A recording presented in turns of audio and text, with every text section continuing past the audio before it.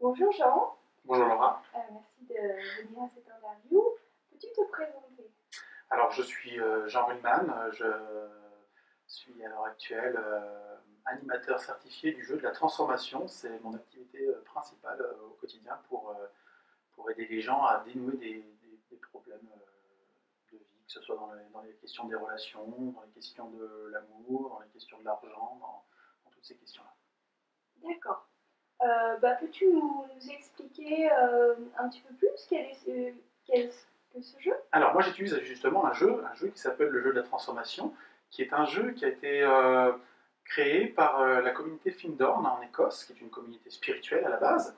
Et ce jeu, vraiment il est magique. J'ose le mot magique, au sens ça va faire apparaître des lapins, on est bien d'accord, mais au sens où ce jeu peut vraiment nous rejoindre de manière euh, miraculeuse, voilà, euh, rejoindre sur nos intentions. C'est pour ça que je dis qu'on peut travailler avec ce jeu sur toutes les intentions qu'on a dans notre vie de tous les jours. Je ne vois pas une intention euh, qui ne serait pas possible. Waouh Ok. Alors, euh, quel est ton rôle, toi, dans ce jeu? Alors moi, mon rôle à l'heure actuelle, c'est de faciliter euh, le jeu aux personnes qui viennent, me, qui viennent me, me retrouver, parce que ce jeu a des règles étendues qui sont assez complexes et qui méritent d'être quand même connues. Mais euh, j'assiste aussi les personnes dans leur questionnement, parce qu'elles vont recevoir des messages par le jeu euh, de manière synchronique, c'est-à-dire que ça ne vient pas du hasard, c'est mon parti pris. Euh, on pourrait croire que la vie est hasard, comme vous êtes sur, mon- sur ma chaîne, maintenant vous commencez à savoir que je ne pense pas que le hasard existe. La carte qui vous convient, le message qui, va vous, qui vous convient, va venir au moment où vous êtes prêt à le recevoir. Parce qu'on est sur un plateau de jeu et qu'on on, joue, c'est pas des cartes comme euh, de la voyance ou quoi que ce soit ce genre, on joue vraiment, on est aussi dans, un- dans une partie de jeu. Et le message va venir au moment de votre réflexion où vous êtes prêt à le recevoir et vous allez pouvoir à ce moment-là comprendre dans votre intention de jeu qu'est-ce que qu'est-ce que vous pouvez euh, voilà, en, en comprendre. Aussi bien que ce soit par exemple ce qu'on appelle des ombres, euh, des cartes qui vous parlent de vos schémas bloquants, ou aussi bien euh, des lumières qui vont vous parler de, de vos potentiels à, ou des directions, ou même des choses que vous faites déjà pour aller, euh, pour, pour vous renforcer dans votre intention de, de vie ou de, jeu. D'accord. Euh, moi, ce que j'aimerais savoir, c'est donc on a des cartes de lumière, donc qui nous donnent des informations pour avoir une connaissance.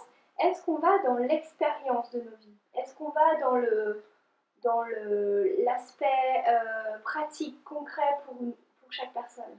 Alors, c'est c'est pas ce qu'on fait le plus, même si on le fait beaucoup. En fait, enfin, c'est pas ce qu'on fait le plus, c'est qu'on fait beaucoup. Je sais pas comment t'expli- t'expliquer ça, mais des fois, euh, l'intention qu'on a, elle va être très pratique. Je vais te donner un exemple qui peut, être, qui peut vous, étonner, mais vous allez voir que c'est ma vérité. hein. Euh, J'avais une dernière une intention récemment qui était d'être en couple. Voilà, très clairement, j'avais envie d'être en couple. Ça faisait très longtemps que je ne, je ne l'avais pas été. Et j'avais fait des nombreux jeux sur le couple où j'ai réglé pas mal de questions. Et la, et la dernière intention que j'avais posée, c'est je veux être en couple maintenant. Vraiment, une intention très précise, donc concrète, on est bien d'accord.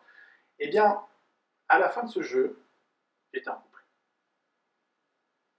Je parle d'un miracle en direct, euh, de, de quelque chose que j'ai vécu. Alors, euh, vous allez me dire, c'est de la chance, c'est pas de chance, mais en même temps, non, j'avais vraiment, euh, j'avais déjà beaucoup travaillé sur mes problématiques qui faisaient que j'étais pas en couple. Donc, il y avait des travaux, des travaux pratiques sur, ce- sur ces, sur ces questions-là, des remises en cause, mais euh, à ce moment-là, voilà, j'étais prêt, et ce jeu-là, je l'avais fait de manière légère, et, je, voilà, je- et puis là, il se trouve que voilà, euh, je suis rentré en couple le, le- le soir même. Le soir même. Donc, il faut faire attention à ce moment. Bah, effectivement, oui. Et moi, c'est mon travail principal, c'est de, de- de- mon travail principal en début de jeu, c'est de clarifier l'intention de la personne pour que l'intention soit la plus spécifique possible et la plus précise possible. C'est pas mon rôle d'être en accord ou en désaccord avec l'intention de la personne. Si son intention, je sais pas moi, c'est euh, alors bien sûr, si quelqu'un a l'intention de tuer quelqu'un, je vais essayer de voir comment on peut travailler autrement. Mais voilà, c'est pas mon rôle de juger l'intention de la personne. Mais c'est vrai que l'intention euh, va nous permettre d'aller dans la direction de ce qu'on veut. Alors on va pas toujours tout de suite avoir un changement immédiat comme ça m'est arrivé, c'est pas tout le temps le cas.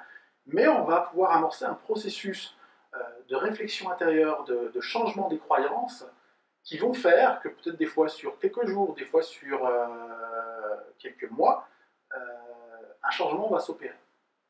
Moi, j'ai l'exemple euh, de, de, personnes que je connais, que je ne vais pas citer, mais qui, à la suite d'un jeu de la transformation, ont décidé de partir plusieurs mois autour du monde. Waouh Voilà. C'est pour vous dire que, alors que ce n'était pas du tout leur programme deux heures avant. D'accord. Et euh, concrètement, euh, combien dure un jeu de la transformation? À combien de personnes on joue? Alors, un jeu de la transformation se joue pour moi au minimum avec deux joueurs, plus moi en, animateur. Euh, je fais aujourd'hui toutes les semaines des stages de présentation où je suis également joueur. Ça, c'est un peu à part. Un jeu de transformation, quand je suis animateur, je suis à l'extérieur, je ne joue pas. On est bien d'accord laisse les personnes aller euh, travailler. Et pour moi, l'idéal, c'est d'avoir minimum deux joueurs parce que ça permet d'avoir une interaction. Sinon, je suis l'animateur en face d'une seule personne et c'est pas ce que je recherche, ce que je recherche parce qu'il y a beaucoup de choses qu'on comprend par le regard de l'autre qui ne sont pas seulement données par les cartes, mais par le partage qu'on va avoir avec la, avec la carte. C'est pas tout d'avoir une carte, mais on partage dessus à cœur ouvert sur ce qu'on y apprend pour nous-mêmes. Donc ça demande aussi d'avoir de la confiance en, l'animateur, mais en, tous les joueurs qui nous entourent. Donc 2 à 4 joueurs, pour l'instant, c'est ce que je fais. Il y a des plateaux qui permettent d'aller jusqu'à 6, et certaines personnes utilisent des fois le jeu jusqu'à 8 joueurs. On peut le faire sur des, plus, grands, groupes, mais moi, je ne maîtrise pas ces choses-là, et, aujourd'hui, ce n'est pas, pas du tout ce que je fais. C'est vraiment le partage euh, et le regard de chacun qui va apporter des, qui va apporter des réponses. Je ne sais pas si je t'ai répondu là. Alors, tu m'as répondu euh, concernant mais la durée. Alors, la durée, oui. Alors, la durée, c'est la durée qu'on fixe, qu'on se fixe. C'est-à-dire qu'aujourd'hui, moi, quand je fais un stage de présentation, je fixe 3 heures. Euh, quand je fais des stages de demi-journée, c'est 5 heures. Et quand je fais des stages de journée, c'est des stages qui vont entre 8 et 9 heures, avec, incluant la pause de midi. Euh, ce qu'il faut savoir, c'est qu'au final, j'ai déjà dit, ce jeu, il est, magique pour moi. Et toute la réponse, si on a décidé, si on a placé ça dans l'intention que la réponse juste arriverait temps juste, elle arrivera dans le temps juste. Moins de 3 heures, c'est un peu difficile parce qu'il y a quand même un temps où on prépare les questions, où on va chercher l'intention euh, la plus pure et la plus juste par rapport à, par rapport à ça. Euh, c'est d'ailleurs un processus que j'ai un petit peu euh, changé, moi, par rapport à la règle que j'ai reçue, où, je permets justement que la question s'affine au, fur et à mesure du, au fur et à mesure du début de jeu. Bon, je ne vais pas rentrer dans les détails. D'accord. Mais après, j'estime que deux bonnes heures de jeu sur le plateau, c'est un minimum pour euh, pouvoir appréhender, en tout cas dans une découverte, le jeu de la transformation. Après, les stages, ça va dépendre. Un stage, pourquoi 5 heures ou pourquoi 9 heures, ça va vraiment dépendre de, l'intensité de la question, je veux dire. on ne va pas travailler de la même manière euh, en fonction d'une intention ou d'une autre. Voilà, je n'ai pas l'intention qui me vient en tête, mais ça va dépendre de l'intention qu'on a, envie d'élaborer. Est-ce qu'on a une intention euh, et qu'on vient en couple? Est-ce qu'on a une intention de famille? Est-ce qu'on a euh, une intention personnelle très forte par rapport à un problème très particulier Des fois, peut-être qu'il faudra plus d'une séance. D'accord, très bien. Donc, euh, l'aspect de groupe est très important Oui, il est primordial. D'accord. Donc, du coup, euh, les gens trouvent eux-mêmes 4 personnes, 3 personnes et t'appellent Ou alors, ça peut être des inconnus Comment ça se passe? Alors, pour l'instant, c'est souvent des inconnus parce que moi, je me suis organisé sur Meetup pour organiser des des événements de découverte parce que mon désavantage par rapport à ce jeu, c'est qu'il n'est pas connu. Donc je suis très content de pouvoir euh, réaliser cette, interview avec toi. Euh, mais bien entendu, j'ai aussi des gens qui m'ont invité parce qu'ils voulaient faire un jeu pour trois personnes. Voilà, ils se connaissaient déjà en trois personnes. Et c'est très intéressant parce que généralement, les personnes. Ah, c'est intéressant et ça dépend. Il y a des personnes qui finalement vont avoir du mal à se partager finalement face à leurs amis. Ça peut être des fois plus dur. C'est paradoxal. Il y a des gens qui ont une vraie confiance dans leurs amis, il n'y a pas de problème, ils vont pouvoir tout ce qu'ils ont à partager, ils vont pouvoir aller en profondeur chercher les choses qui sont importantes pour eux et elles. Et puis il y a des gens, euh, ils vont pouvoir le faire mieux avec un inconnu ou une inconnue. Maintenant, mon rôle, c'est aussi de permettre à la personne de se sentir en confiance pour qu'elle puisse partager les choses qui ont de l'importance pour elle et justement aller soulever les questions qui, sont en rapport à leur intention et que le jeu leur permet de, découvrir. Il y a une question là, euh, est-ce que tu travailles avec des familles? Ben, Je n'ai pas encore eu l'occasion de travailler avec une famille, j'ai pu travailler avec un couple et leur ami à eux, mais j'aimerais pouvoir travailler avec des familles. Par contre, toutefois, je ne sens pas que le jeu soit opérant et c'est pas très indiqué en dessous de 16 ans. Parce que ça demande quand même de pouvoir être en capacité. Alors, il y a des jeunes de 14 ans qui sont capables, je hein, pas de question, mais ça donne quand même, c'est quand même nécessaire de pouvoir être en capacité de réfléchir sur sa vie. Et des fois d'avoir du recul aussi. Mmh. Donc, ça demande quand même d'avoir euh, au moins 13-14 ans, il est déjà bien mature à 13-14 ans. D'accord.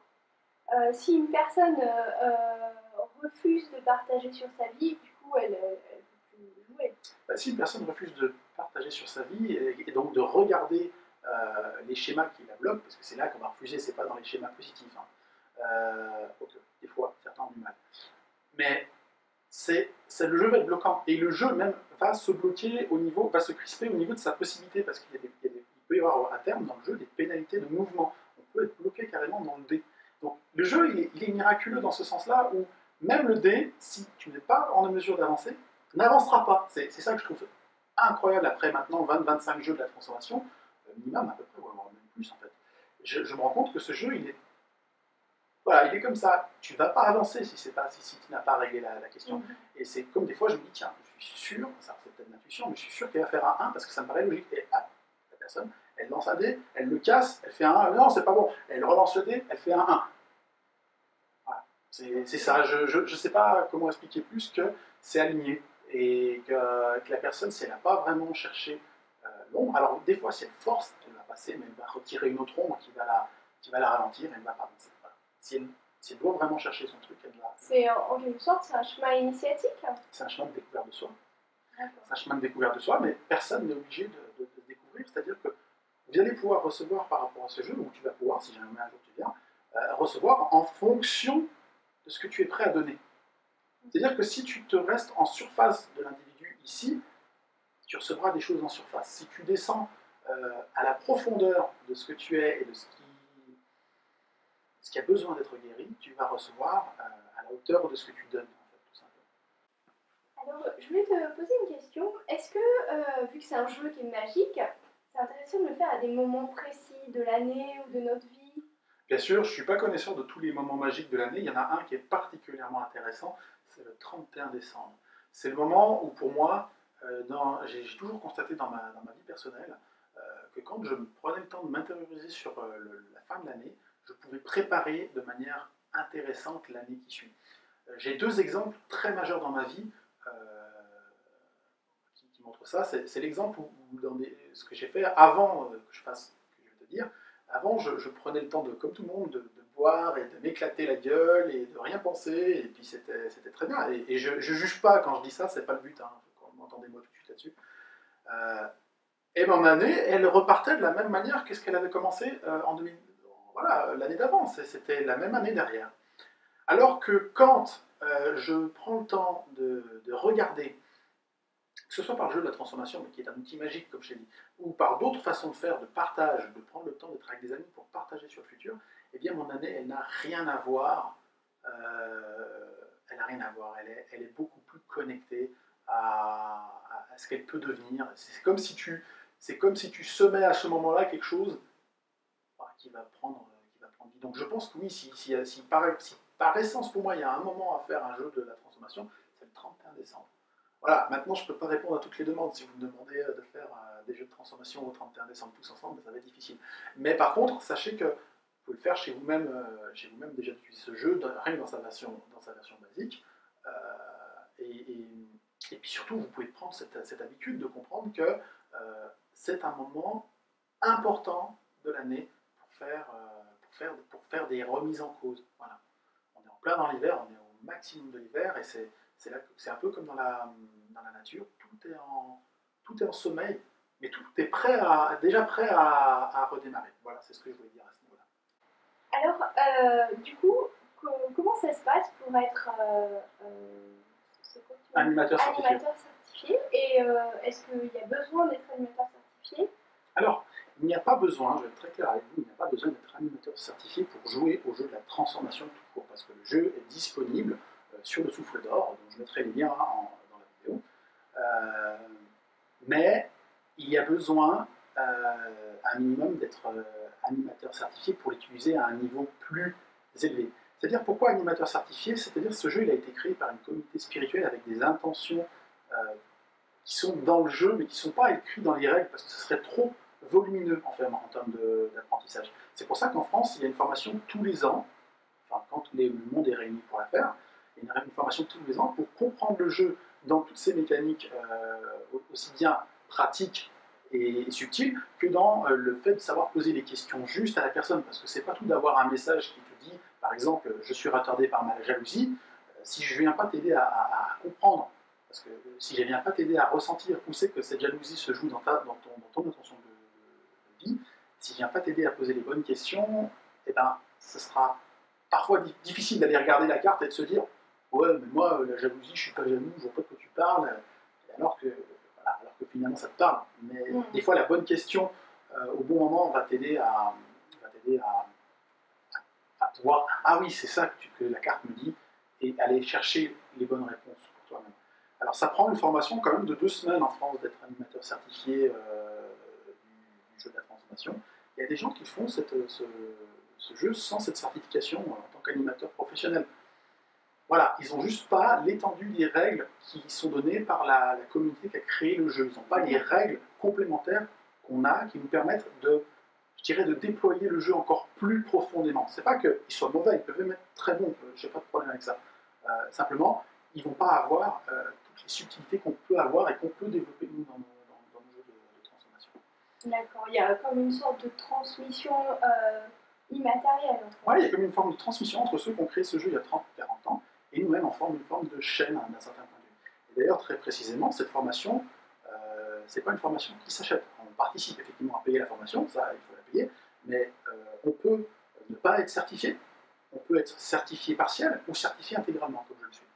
C'est pas euh, juste parce qu'on a payé 3000 euros et que on- oui, la formation coûte 3000 euros, j'en profite. Euh, entre les, entre les, les coûts les coûts de pension intégrale et le fait d'être euh, d'être hébergé et tout ça, et le fait d'avoir des traducteurs, ça coûte 3000 euros pour 15 jours. Et bah, il n'y a pas de, de- simplement je paye mes 3000 euros, je vais là-bas en touriste et j'espère que je suis animateur certifié pour faire le jeu de la transformation, ça ne marchera pas. Et même en se donnant, j'ai vu des gens qui se sont donnés, les gens se sont tous donnés dans cette formation, tout le monde n'a pas été certifié de façon intégrale. D'accord, donc c'est vraiment une qualité d'être. Voilà, ce qu'ils recherchent euh, en tant que. euh, en tant- ce qu'ils recherchent chez les animateurs certifiés, c'est vraiment des gens qui vont bien sûr avoir euh, compris les mécaniques du jeu et pour pouvoir les, pour pouvoir les maintenir dans, dans- dans- voilà, pour pouvoir les maintenir parce que c'est- un jeu qui est quand même complexe. Mais aussi également des gens qui vont être dans un certain niveau de cœur et je pense que des gens qui seraient trop mental, euh, seulement mental, je veux dire Mhm. on pourrait ne pas être certifié. Moi, ce qui me semble, c'est que dans les personnes qui n'ont pas été certifiées, bah, il y avait aussi bien euh, la possibilité euh, de ne pas être certifié au niveau du, du- des règles, la maîtrise des règles, Mhm. que de la, moti- que de la, que de la question de, de sa capacité à rentrer dans, le- dans- dans la profondeur euh, pour soi et pour les autres. Parce qu'en fait, si tu ne rentres pas pour toi-même, tu ne rentres pas pour les autres. Mhm. Oui, donc c'est très complet. Il y a l'aspect plutôt yang, intellectuel, et l'aspect plutôt yin, ressenti, empathie. Ce qui me fait énormément travailler sur le deuxième aspect, parce que je suis quelqu'un plutôt mental dans ma, dans ma- dans ma démarche. habituelle. D'accord. Ouais, donc euh, à chaque fois que tu, tu fais un, jeu, euh, ça t'apporte aussi. euh, Ah oui, mais moi, je, je- surtout, sur- surtout dans les jeux de, démonstration, où j'ai pris la liberté par rapport à la règle, pour la règle des animateurs, de m'inclure dans le jeu en tant qu'animateur-joueur, euh, j'ai la possibilité, effectivement, de, à chaque fois, même, même quand je suis animateur à l'extérieur, d'apprendre énormément de, des gens qui sont là. Parce qu'en fait, c'est tout le monde qui apprend. On n'est pas réunis par hasard, c'est marrant, mais on va vite voir que quand dans un, dans- dans- si, même si je prends trois personnes au hasard qui viennent au hasard, leurs problématiques vont se croiser. Et du coup, elles vont aussi se croiser avec ce que je suis. Ouais. Elles m'apprennent des choses. C'est une, vraie- c'est une vraie chance. D'accord. Waouh. Donc, euh, comment euh, faire si on veut faire un jeu euh, Alors, si vous voulez faire un jeu, je dirais dans la région Rhône-Alpes, parce que pourtant je ne suis pas sûr de me déplacer euh, au-delà, ou dans, le- dans la Suisse romande, euh, le plus simple c'est de me contacter sur ma page Facebook, dont je mettrai les liens en description euh, sous la vidéo, euh, pour, pour pouvoir faire un jeu tout simplement. Tous mes tarifs sont indiqués sur ma page également. Ça veut dire que tu te déplaces Oui, je me déplace. Aujourd'hui, j'ai pris la liberté de me déplacer. Après, bien sûr, si j'ai un déplacement qui est important, je demande une participation au déplacement, ce qui est logique. Et si je dois être hébergé, ce qui m'est déjà arrivé, je demande à soit d'être hébergé gratuitement chez les personnes, soit d'avoir D'accord, c'est super. Donc, si on fait une soirée entre amis, on peut te Bien sûr. faire appel à toi. Bien sûr, à condition que chaque personne ait vraiment compris le sens de ce qu'il Mhm. fait. Ce serait dommage d'inviter des amis et puis de les, les prendre en traquenard. Parce que c'est un jeu qui quand même demande d'aller s'exposer sur, euh, d'aller s'exposer sur soi, sur son cœur, sur ses blessures, sur, euh, sur tout un tas de choses de genre. D'accord, très bien. Ben, je te remercie pour euh, cette interview. On en sait beaucoup plus sur ce jeu de la transformation. C'est moi qui te remercie profondément pour euh, m'avoir interviewé pour ce jeu. J'avais envie de faire une émission là-dessus depuis un moment et, et le fait de l'interview m'a aidé à, à répondre à, à beaucoup de questions qui n'auraient pas été faciles de répondre tout seul. Merci Merci Laura. et.